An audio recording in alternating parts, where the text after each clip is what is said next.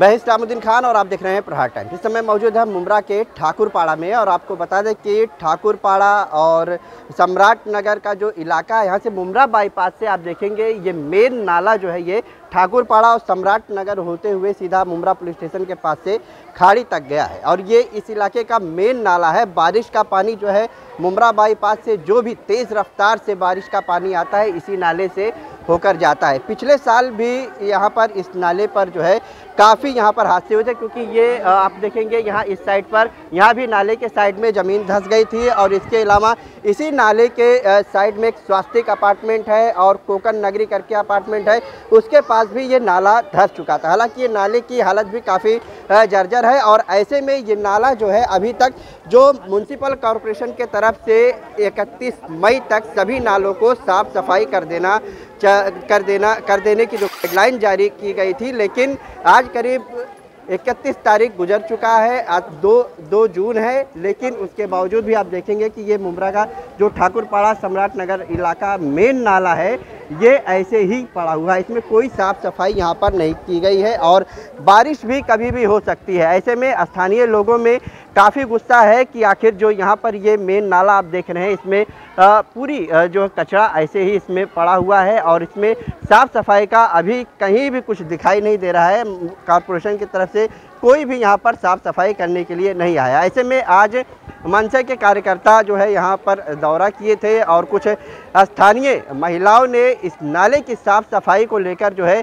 आ, क्या कुछ मीडिया से बातचीत में कहा है और मनसे के कार्यकर्ताओं ने क्या कहा है हम आपको सुनाते हैं। ये यहाँ पर नाला जिस तरह से देखा जा रहा है भरा हुआ है साफ़ सफ़ाई नहीं हुई है और पिछले साल भी इसी तरह से ये नाला भरा हुआ था। यहाँ पर कई जगह नाले में दरार पड़ गया था नाला धस गया था। इमारतों के साइड में भी धस गया था। और अभी तक देखा जा रहा है कि ये नाला साफ नहीं हुआ बारिश करीब है।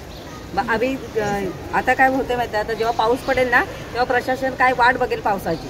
तेव्हा हा पावसाने जेव्हा वाहून जाईल ना तेव्हाच ते काम करतील. त्याच्या अगोदर काही ती लोक इकडे काम करायला येत नाहीत आता किती वर्ष झाली जवळजवळ नगरसेवक एकही नगरसेवक इकडे येत नाही की म्हणजे इकडच्या नागरिकांच्या काय समस्या आहेत काय आहेत त्या विचारायला एकही नगरसेवक येत नाही. नगरसेवक का नाम क्या? जो थे यहाँ से नगर सेवक वो कौन थे? चार जन आहे तिथे म्हणजे प्रभाग चार होते ना मग चार जण अच्छा. अभी तो फ़िलहाल कोई नगर सेवक नहीं है लेकिन फिर भी उनकी ऐसी ज़िम्मेदारी होती है कि वो आके यहाँ देख सकते हैं। कोई आया कि नहीं आया? नाही कोणच नाही आले. आणि जवळजवळ मी आता इथे वीस वर्ष राहते या प्रभागामध्ये. पण वीस वर्षापासून मी बघत आले की इथं कचऱ्याचं म्हणजे साम्राज्यच वाढतच चालले ते कमीच होत नाही. यहाँ का जो कचरा है, हर साल तुम लोग टेंडर भरते हो। जो कचरा है, साल भर निकालते हैं और निकल के वो कचरा से पूरा रास्ते में डाल देते हैं। बोलते हैं, दो दिन के बाद निकालेंगे, दो दिन के बाद में पंद्रह दिन के बाद। अभी सात तारीख को बारिश आ रही है, बारिश आ रही है तो ये कचरा निकालना उनका फ़र्ज़ है ना? ये लोग अभी तक कचरा नहीं निकाले, अभी वो बोलेंगे, जितना बह के जाता है, उतना बह के जाएगा, बाद में उसको लूज करेंगे, फिर निकालेंगे। नहीं निकला तो वो निकाल के उधर डालेंगे। इतने बड़े बड़े कीड़े हमारे घर में आते और कोई भी इधर देखने के लिए नहीं आता। इसी की वजह से सब कितना लोगों को इनको समझना चाहिए नहीं वहाँ पे कचरा डालते रोड पे क्यों डालने का कचरा? तुम लोग चार लोग एक्स्ट्रा लगाओ ना। चार लोग एक्स्ट्रा मजदूर लगा के तुम लोग नीचे लेके जाओ ना सीधा इधर उधर डालने का क्यों कचरा? अरे इतनी बड़े जिसको जो लोग ये जो कॉन्ट्रैक्ट लेता है उनके जो मजदूर है वो लोग डालते हैं इधर। बोलते हैं नहीं दो दिन में सूख जाएगा तो पानी निकल जाएगा तो हम लोग लेके जाएँगे। दो दिन में पानी निकलेगा तब तक कीड़े हमारे घर में खाने में जाएँगे। वो अगर आपको इतनी परेशानी है तो आप लोग वोट क्यों देते हो फिर? अरे वोट हम किसको देते? जो हमको अच्छा ये करेगा हम उसको वोट देंगे ना। तो अभी अच्छा कौन कर रहा है? अभी कोई भी कोई भी किसी की सरकार अच्छी नहीं है। कोई सरकार ठीक से नहीं है।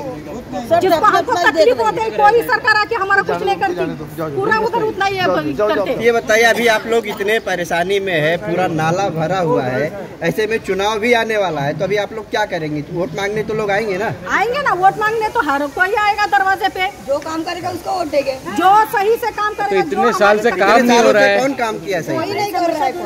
कोई काम कर रही है। कोई भी नहीं आता है। नगर से देखने के लिए। हाँ तो आप तो बोल रहे कि कोई काम सही करेगा तो कोई मैं क्या बोल रही जो काम करेगा ना उसको हम चुनाव जल लड़ा के देंगे।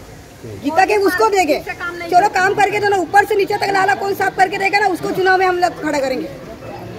ये नाला तो साफ़ हो नहीं रहा है फिर क्या करेंगे अभी? करके तो दिखाओ कोई नगर से कभी तक किसने किया नहीं है। नहीं महानगर पालिका की तरफ़ से जो गाइडलाइन थी इकतीस मई तक ये नाला साफ़ हो जाना चाहिए।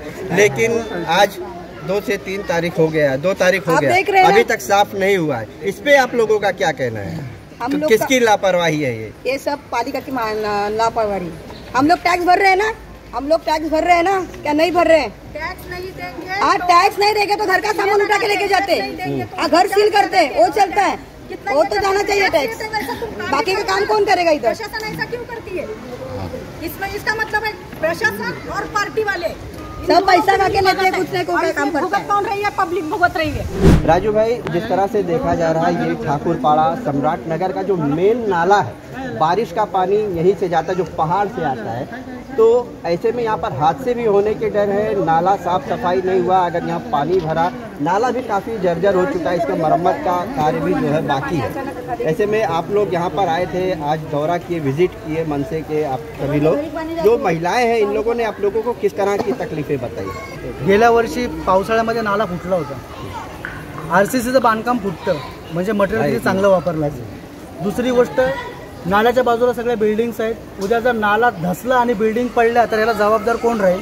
त्याचं उत्तर प्रशासनाने द्यावं. दुसरी गोष्ट नाला असा भरतो ते तुम्ही दाखवा त्यांना. त्याच्यामध्ये इथं कुठला नगरसेवक राहत नाही ठाकूरपाड्यामध्ये. त्याच्यामुळे त्यांना तर काय प्रॉब्लेम होत नाही. बाकी इकडच्या लोकांना प्रॉब्लेम होतो ते पण त्यांना दिसत नाही. अशा परिस्थितीमध्ये प्रशासनाने इथं येऊन ज्या आपण टॅक्स भरतो नागरिक जो टॅक्स भरतात त्या टॅक्समध्ये आपण प्रत्येक प्रकारचा टॅक्स देतो. त्याच्यामध्ये नाले सफाई पण त्याचा अधिकार असतो. जर तुम्हाला तेवढंही करता येत नाहीये तर मग तुम्ही बसलेत कशाला? महानगरपालिकेची जबाबदारी राहील. जर हा संपूर्ण कचरा हे सगळं महानगरपालिकेने क्लिअर केलं नाही तर पावसाळा आला आणि एक जरी पाऊस पडला आणि त्याच्यामध्ये नागरिकांना त्रास झाला तर सगळा उचला महानगरपालिकेच्या कार्यालयामध्ये महाराष्ट्र नवनिर्माण सेना जाऊन टाकणार आणि तिथून जोपर्यंत हा उचलणार नाही तोपर्यंत तो कचरा तिथून मी हटवू देणार नाही. मग आमच्यावरती कितीही केसेस झाल्या तरी चालतील. आमच्यावरती काही कारवाई केली करू दे पोलिसांनी महानगरपालिकेने. आम्ही घाबरत नाही. लोकांच्या हिताचं काम करायला आम्हाला कोणाचा बाप अडवू शकत नाही.